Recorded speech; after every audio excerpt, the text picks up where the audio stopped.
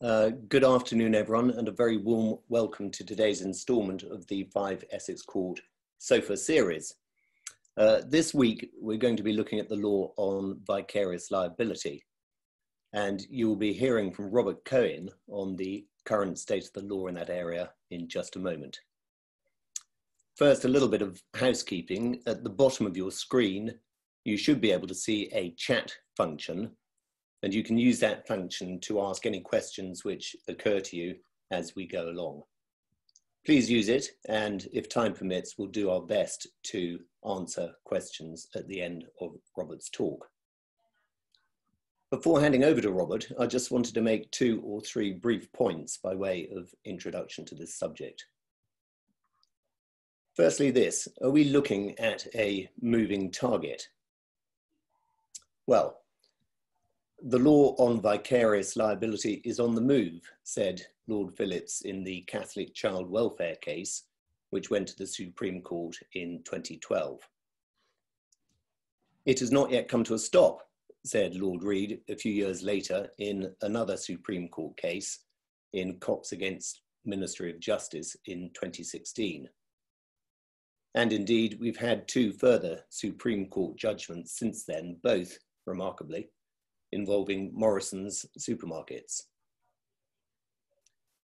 Well, the country might have ground to a halt over the last two months or so, but this profusion of cases at Supreme Court level might suggest that we are indeed still looking at a moving target in this area. Robert will tell us where things stand in just a moment.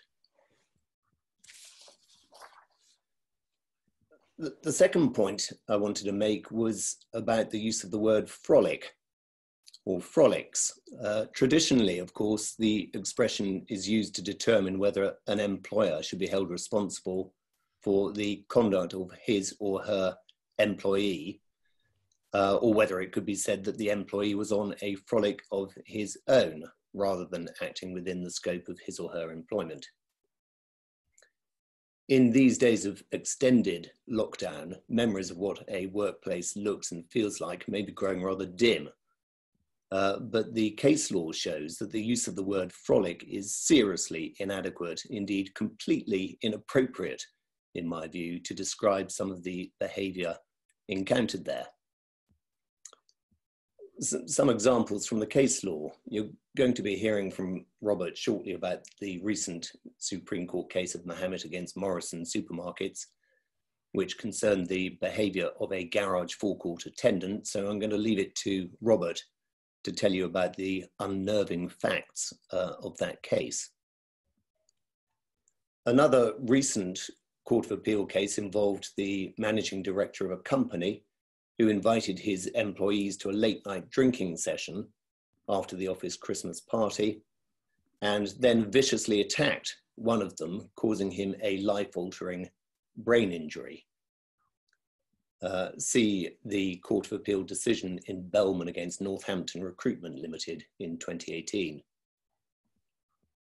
Many cases sadly involve sexual assaults, See, uh, for example, the seminal case of Lister against Hesley Hall Limited back in 2001, uh, a case in which the warden of a school boarding house sexually abused children in his care. There is a case about a nightclub doorman who stabs a customer with his knife. There's a case about a, a security guard at a football ground who shoots a fan who's trying to get into the stadium and finally, there's the case about uh, the worker who sprinkled a highly flammable thinning agent over a colleague's overalls and then set him on fire with a cigarette lighter. That's the case of Graham against Commercial Bodyworks Limited, a Court of Appeal decision in 2015. Hardly frolics then, uh, you might think. Many of these incidents amount actually to serious crimes and uh, Robert will explain in just a moment how the court deals with incidents of this nature. Then, third and finally, the final point I want to emphasize is that vicarious liability is a form of strict liability. That is, the employer will usually be held liable in the appropriate circumstances, regardless of any defence which he or she might want to run to the effect that the act in question was completely unauthorised.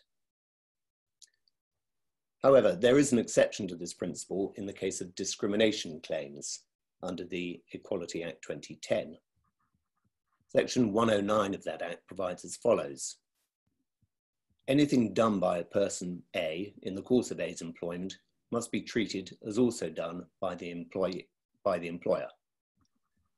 Two, anything done by an agent for a principal with the authority of the principal must be treated as also done by the principal. Three, it does not matter whether that thing is done with the employer's or principal's knowledge or approval, i.e. strict liability. But subsection four, in proceedings against A's employer, B, in respect of anything alleged to have been done by A in the course of A's employment, it is a defence for B to show that B took all reasonable steps to prevent A from doing that thing or anything of that description. So in discrimination claims, at least, an employer can adduce and rely upon evidence that he or she carried out appropriate training to try to prevent employees acting in a discriminatory manner. In my experience, employers tend to stick by their employees in the dock, but they don't have to. So I will now hand over to uh, Robert. Thank you, Robert. So, good afternoon, everybody. Thank you very much for tuning in.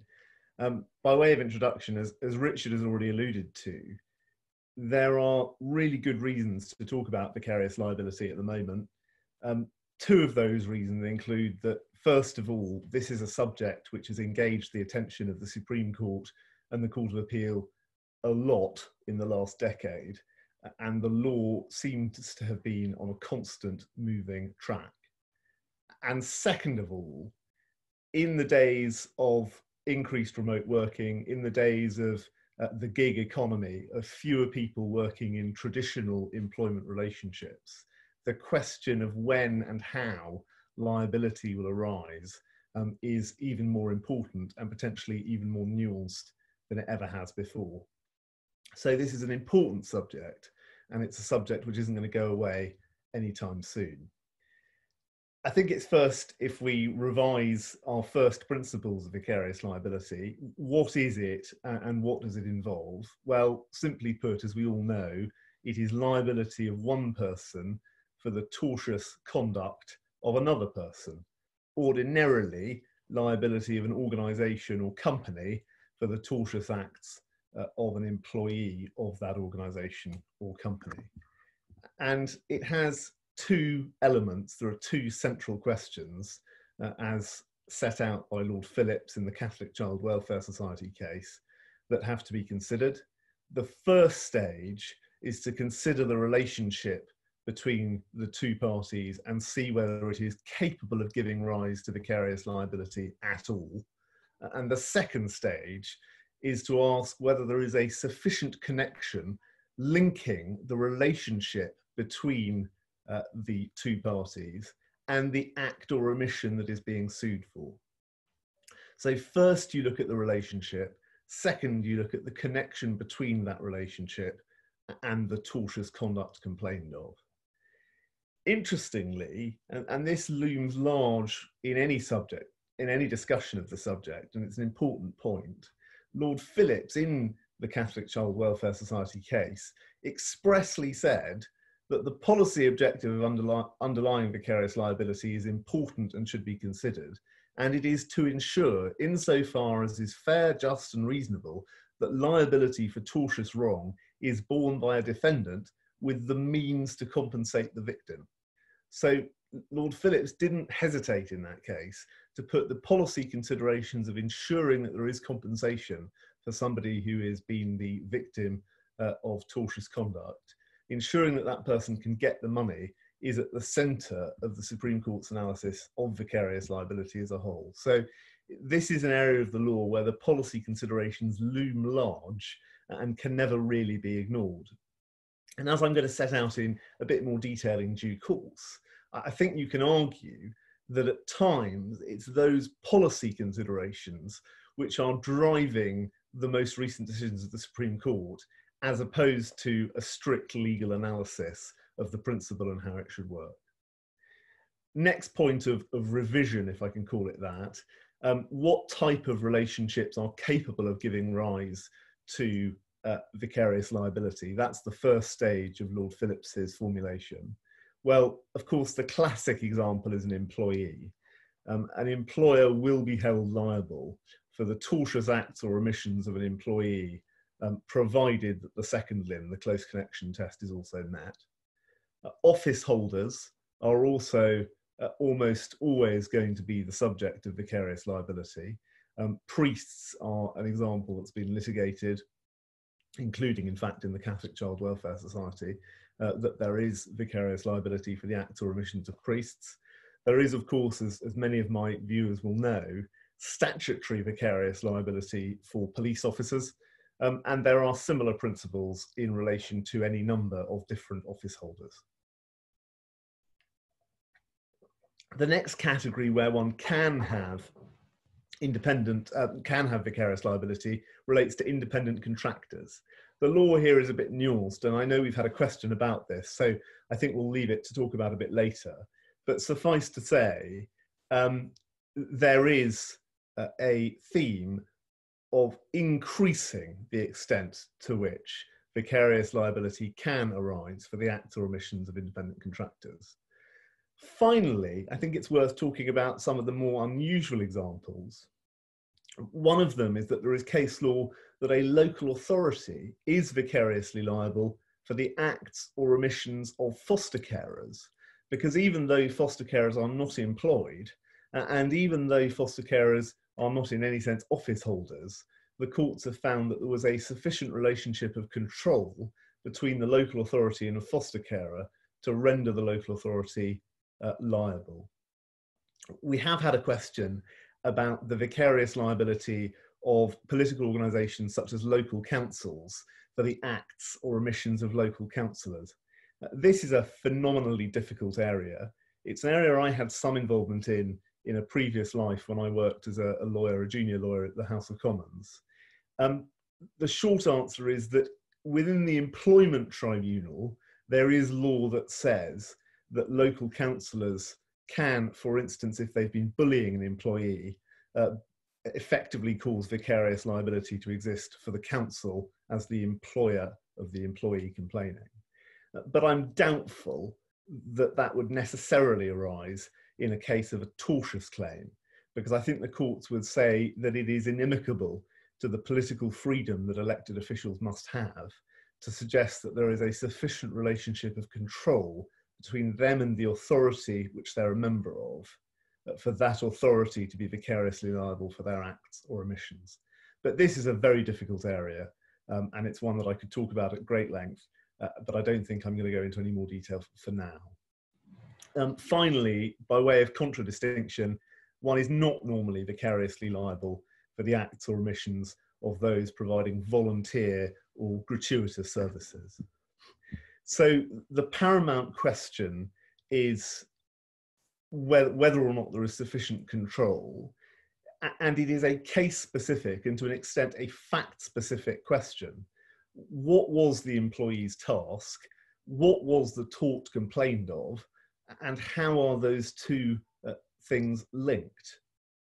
And the Supreme Court have repeatedly approved the formulation of Lord Nicholls in Dubai Aluminium, where he said the distinction is between cases where the employee was engaged, however misguidedly, in furthering his employer's business, and cases where the employee is engaged solely on a frolic of their own. Um, two points about that.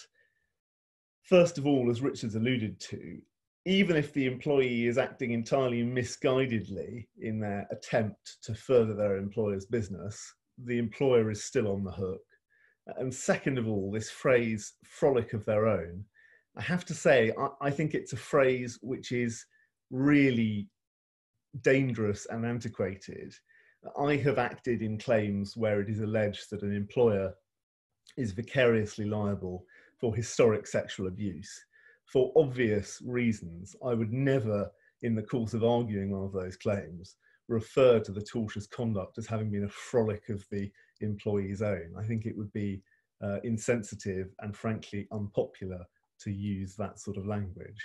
Um, it is the language used by the higher courts, but I would suggest that the better course to follow in pleading or arguing any claim such as this is to be a little bit more sensitive and to simply say that the employee was not furthering their employer's business rather than to positively say they were on a frolic of their own, which I think sticks in the throat rather. Um, they're the basics. That's how the um, vicarious liability, in essence, is created. I think it's now going to be helpful if I set out what some of the key stumbling blocks that one can encounter when dealing with claims and allegations of vicarious liability are. The first is that there has to be a connection between the tort and the relationship. As I say, the close connection test. That's very much the essence of finding vicarious liability. That is something which claimants quite often struggle to identify with precision and struggle, frankly, to plead. Sometimes these concepts are pleaded very airily and very um, unparticularly or without any specificity. So you're left wondering, hang on a second, what is it that's being said causes the close connection? I think the reason for that is that we sometimes assume that vicarious liability is just going to be automatic. This person was an employee, therefore there must be vicarious liability. But there's a bit more to it than that. And I think all of us need to be careful when we're bringing or defending claims to make sure that that crucial question, one of the crucial aspects of the test for the existence of liability, has been properly identified and both parties know what the issue they're arguing about is. There needs to be real clarity as to what issue the judge is being asked to decide and what the facts are. Um, the next potential stumbling block is the danger of forgetting about negligence. It, it is, of course, possible to say the employer was vicariously liable for the employee's act or omission, perhaps in the tort of assault, perhaps in the tort of battery, misfeasance, whatever.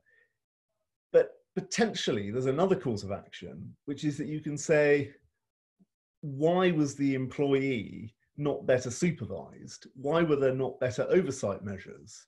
Why has there not been more work to ensure that systems are in place to prevent these sorts of rogue actors? And that would be not really a case of vicarious liability. It would potentially be a freestanding claim in negligence against the employer. That is a claim which could be pleaded in the alternative, could be brought in the alternative, and defendants need to be aware of that because they need to make sure that they don't respond to a vicarious liability allegation in a way that leaves them wide open to negligence. For instance, by saying, well, we're not vicariously liable because this employee was always given carte blanche to do whatever they wanted and uh, they were on a frolic of their own, which really begs the question well, why were they allowed that level of autonomy? And claimants need to be aware of it because if they don't put this point in, if they don't argue it, they might well be giving away half of their case.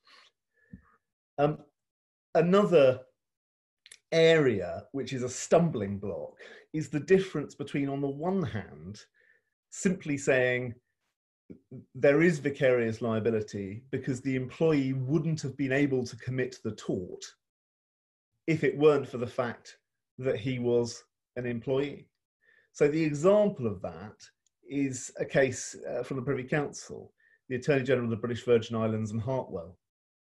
In that case, a police officer uh, effectively had a, a, vendetta, used a gun that he'd been issued as a police officer, and went and attempted to shoot somebody. It appears that he missed and instead managed to injure a tourist.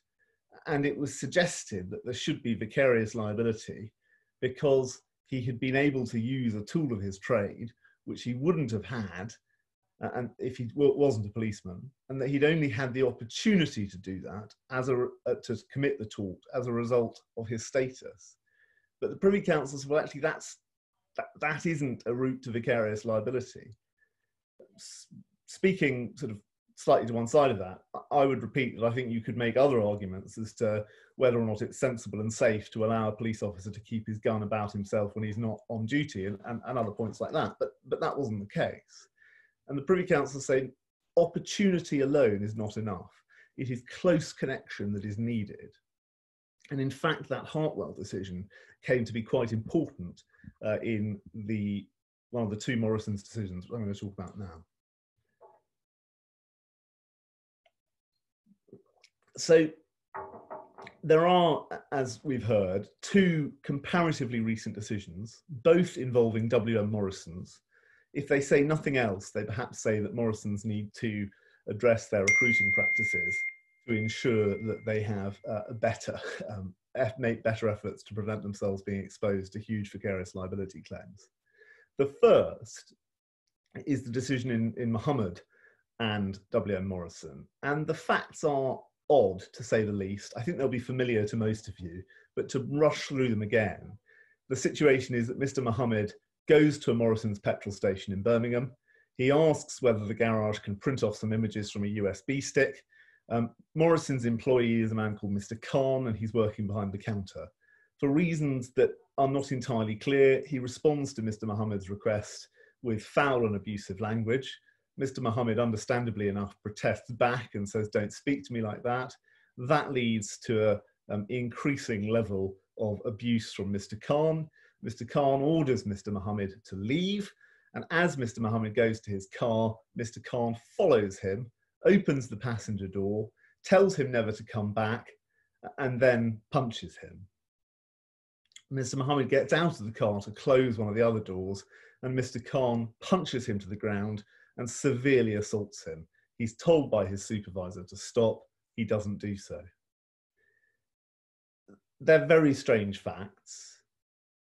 On traditional principles, it's very hard to see, I would suggest, how that would be vicarious liability, because you would say, in the Dubai aluminium case, Lord Nicholls talks about furthering your employer's um, business. Clearly, nobody would suggest that Morrison's wanted or permitted Mr. Khan to act in such an, frankly, unpredictable and violent fashion towards their customers. But the Supreme Court say, well, no, Mr. Khan's job was to attend to customers and respond to inquiries. It follows that when Mr. Mohamud asked him a question, uh, he was acting within his field of activities assigned to him by Morrison's, and there was no break in the chain of his legitimate field activities and him following Mr. Mohamud to his car and seriously assaulting him. Lord Toulson, who gave the lead judgment of the Supreme Court, said it was a seamless episode. Now, there is no doubt that when the Mohamud decision was handed down, the legal profession published plenty of articles and made plenty of comments to the effect that the law on vicarious liability had just been opened significantly more wide uh, than it had been before. There was a widespread feeling that the pendulum had swung uh, and that we were at a point where more and more employees would find themselves liable for the um, acts or omissions of their uh, employees. However, we then move forward just a few years to a few weeks ago and W.M. Morrison and various claimants. Before that case, I could have stopped at Mohamud and said exactly as I've outlined that many people did say the pendulum has swung, and we're now at a state where more people, more employers will be finding that they are liable than ever before. But the latest judgment of the Supreme Court feels a little bit different. I have to say, there is a sense that it reminds me of that wonderful scene in Casablanca where the police uh, officer is saying, I'm shocked, shocked to discover gambling is taking place in this establishment, whilst having a huge pile of banknotes and his winnings handed to him. Because the Supreme Court, in various claimants, the second of the two cases, say effectively, we're, we're shocked, shocked to discover that anybody thought that Lord Toulson's speech uh, in Mohamud was designed to widen the ambit of vicarious liability. Uh, all that the Mohamud case uh, involved was an application of first principles uh, to existing, uh, existing first principles to particular facts and a finding that vicarious liability arose on those facts. That did not and was never intended to widen the scope of the tort. So the facts in the second Morrison case are that Mr. Skelton was a, an individual who worked internally as an employee of Morrison's, and he was asked to take a load of payroll data containing the personal details of all of Morrison's employees and transmit it to a third party auditor so that they could undertake their audit function. He, he did complete that task, but he also retained a copy of the data uh, and transmitted it to others and published it on the internet. He sent it to a number of journalists. And I know that last week in Sofa Series uh, episode five, my colleagues um, Aaron and Alex um, spoke to and spoke of the circumstances in which um, that relates to, to, data protection law and G- the GDPR. But the particular issue that, were, that was of interest to the Supreme Court for present purposes was if somebody takes a load of personal data and transmits it, uh, including sending it to the press, and makes it effectively publicly available, does that individual do so in circumstances where their employer will be vicariously liable? Well, as I've said, the Supreme Court said, no, no, Lord Toulson didn't uh, increase the width of the law. Instead, he was simply speaking of, of where the first principles uh, led. And here, there is no vicarious liability. The court said that the disclosure to others was not part um, of um, the activities entrusted to him. It was a task, it was associated with an authorised task, but there was no close connection with the misconduct and his authorised field of activities. And they drew analogy with the Hartwell case that I've already mentioned. They essentially said, rather like the policeman who uses a legitimate tool of his trade as an opportunity to commit a tort, Mr. Skelton used a legitimate tool of his business to do something that was illegitimate, and as such, Morrison's were not liable for that act. I think there's a really important question, which is how do we try and reconcile the two Morrison's decisions? It's certainly the case, based on what's now been said in the latest decision, that Mohamud should not be understood to have widened the law far, far, uh, well, taken the law far, far wider than it ever has been before. But I think it's also fair to say that it would be wrong to see this latest decision as being an example of the law having gone back completely in the opposite direction. I think the more realistic interpretation is that the court is very mindful of the policy objectives and the factual circumstances of each case. In the Mohamud case, we have an individual who has been gravely assaulted and gravely injured as a result of the activities of a rogue employee. He has not really obtained any compensation or cannot obtain any remedy other than by bringing a claim against Morrison. In the second case, the situation is a bit more nuanced. First of all, although it's extremely unpleasant to have had your personal details splashed all over the internet, the judgment confirms that Morrison's took fairly speedy action to try and remedy the situation, and there were clear attempts on the part of a number of people, including the press, who didn't publish the details, to safeguard that data in other in, in other words, there were alternative ways of ensuring that the various employees of Morrison's were not left um, un with irremediable harm. There is a sense in which the court, in their most recent judgment, are allowing those policy considerations, which, after all, are considerations that Lord Phillips placed front and centre of the analysis in the Catholic Child Welfare Society case, to say as a matter of fact, there was a close connection between the wrong done by Mr. Khan to Mr. Mohamud and Mr. Khan's employment by Morrison's. And that is a fact specific finding that shouldn't be taken to have increased the law. And on the other hand, saying we don't need to go that far in the more recent case because there are sound uh, policy reasons why these individuals have already achieved some form of remedy, and thus we can step back a bit from the extreme we went to, went to in Mohamud. Of course, the Supreme Court haven't really said haven't said that at all explicitly, but, but that is, I feel, part of the underlying logic of what's going on here.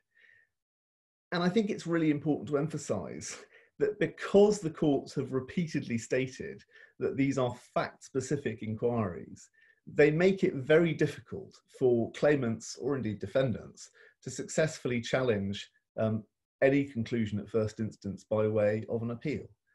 They are, in essence, saying to judges that they can use vicarious liability to ensure that those who have uh, significant wrongs done to them and who would otherwise not achieve a remedy, that they will get that remedy. But there's a sense, in my mind at least, that, that they will rein that back in if they feel that the, rem- that the wrong can be remedied by another means. So that is the two Morrison's cases and my explanation as to what might be going on uh, in the court's mind. I don't think it's a particularly legalistic uh, interpretation, clearly. It's very much more a sense of some of the politics that's going on, but I think it has um, nevertheless an important part to it to explain the logic of what's happened. Looking to the future, I think that um, the big issue that's going to be litigated is that we are going to see a number of cases where litigants try and persuade the court to clarify where the boundary between the two Morrison's cases really lies. And for the reasons I've already given, I, I don't think the courts will ever do that in a particularly precise way. I think they will allow there to be a certain um, gradation of from black and between the black and white that each alternative position outlines really to ensure that there is a margin of discretion uh, to allow uh, individuals to be compensated where it is thought appropriate. The other two future topics, I think, um, are really on people's minds, are topics I'm conscious we've had questions about. Um, so the first of them involves the status of individuals in the gig economy? And that's a question we've had, and I think Richard is going to answer it.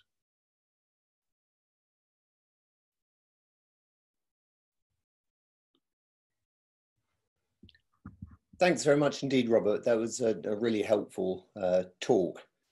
Um, just before moving on to the, the question which has been raised earlier, uh, can I just say I, I, I, entirely agree with with what you said about the uh, state of the law in uh, the area of um, of uh, vicarious liability.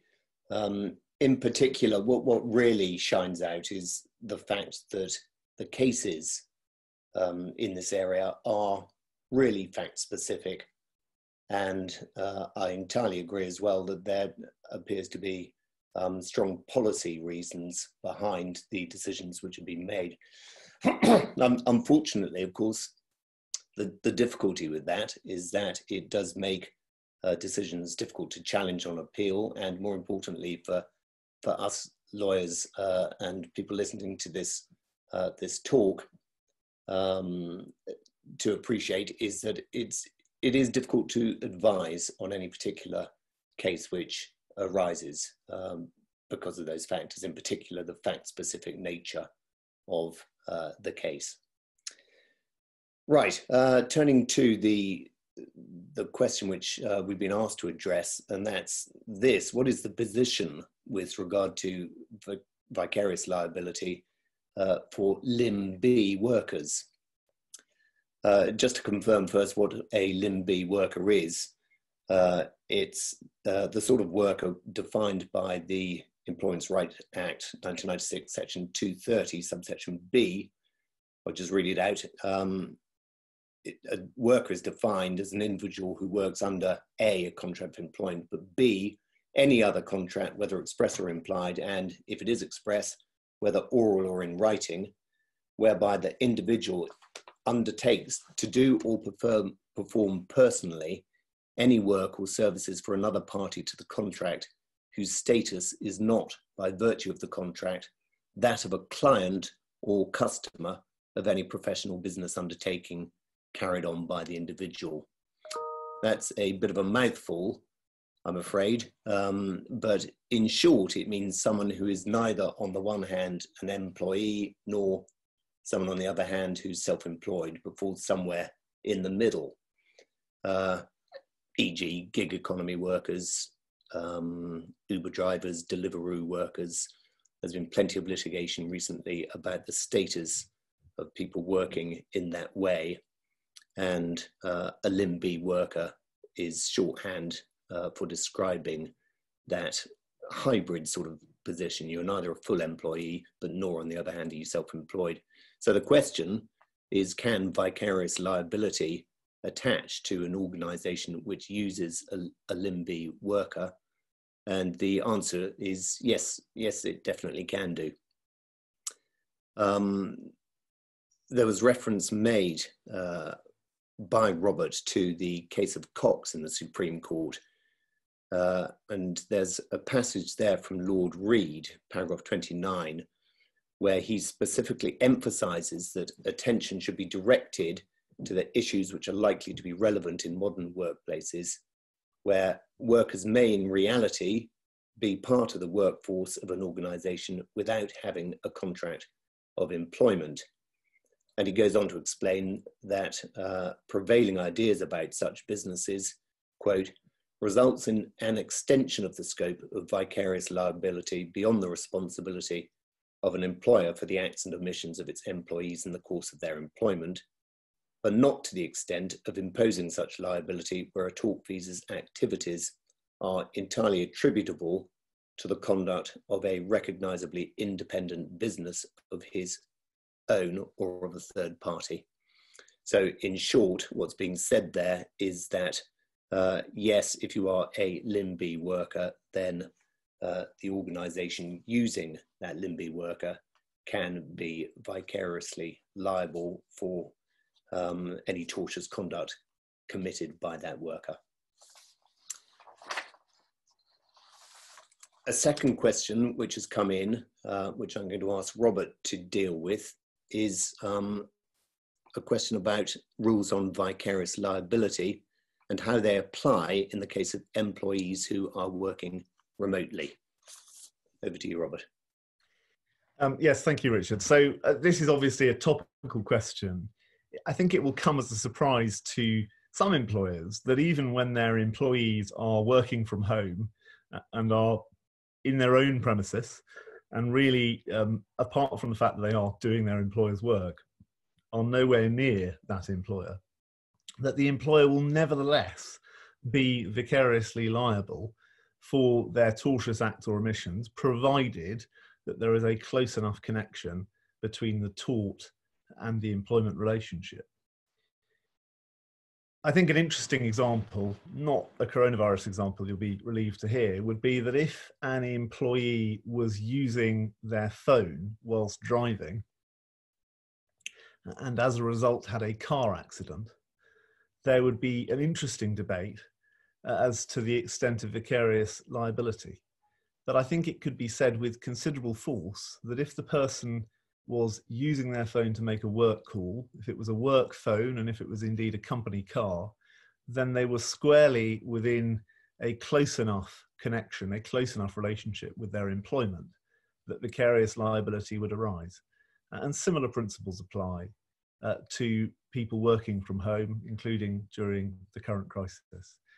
So, contrary to what some employers might believe and imagine, the fact that an individual is not on their business premises does not mean that vicarious liability cannot arise. The other question I see we've had in the chat from, from Martin does the finding of vicarious liability depend on whether or not the employee was out of his way to damage the respondent? it's a really interesting issue, Martin. So thank you for that question. We a strange feature of the most recent Morrison's decision, as you've pointed out, is that Mr. Skelton was acting as he did because he wanted to harm Morrison's.